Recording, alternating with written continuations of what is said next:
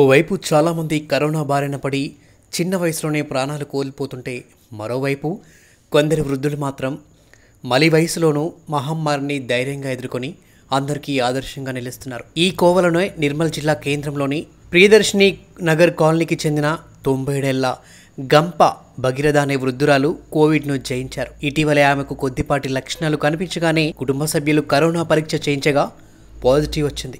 దీంతో ఆమెను హోమ్ క్వారంటైన్లోనే పద్నాలుగు రోజులు ఉంచారు. కరోనా సోకిందని చెప్పినప్పటికీ బామ్మ అధైర్యపడకుండా క్రమం తప్పకుండా మందులు వాడారని తన పనులు తానే స్వయంగా చేసుకుని వైరస్ నుంచి బయటపడ్డారని కుటుంబ సభ్యులు తెలిపారు.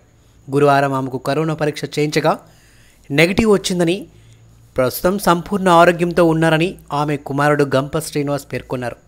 మహమ్మారిని ధైర్యంగా జయించిన ఈ బామ కరోనా బాధితులకు స్ఫూర్తిదాయకమని స్థానికులు కొనియాడుతున్నారు. ఈ వీడియో కనుక మీకు నచ్చినట్లయితే లైక్ చేయండి షేర్ చేయండి కామెంట్ చేయండి. మరిన్ని లేటెస్ట్ అప్డేట్స్ కోసం మా ఈ ఛానల్ని సబ్స్క్రైబ్ చేసుకోండి. కింద ఉన్న బెల్ ఐకాన్ని క్లిక్ చేయండి.